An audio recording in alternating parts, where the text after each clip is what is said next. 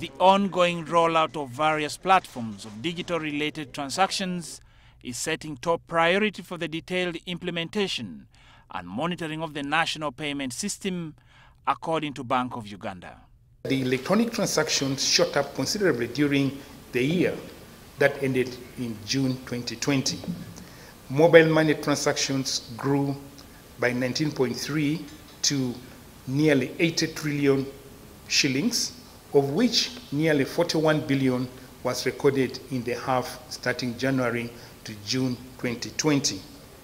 Also important to note is that the escrow account balances increased by about 51.8% from Uganda shillings 623 billion in June 2019 to about 960 billion in June 2020. Experts on financial inclusion matters argue that strengthening integrity of digital financial solutions remains of importance for industry players in view of global integration.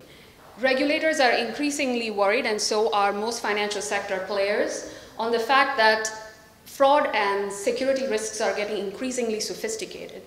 One of the pieces that as an industry we should be talking about is shared infrastructure. Can we reduce the cost of complex uh, infrastructure like cybersecurity? So it is, it is a significant cost that we really, really have to look into. And there are other ways to achieve what the regulator is trying to achieve. A regulator, and rightly so, would like to be able to, to view what's going on, to audit what's going on in each data system, make sure it's okay and it's up to standard.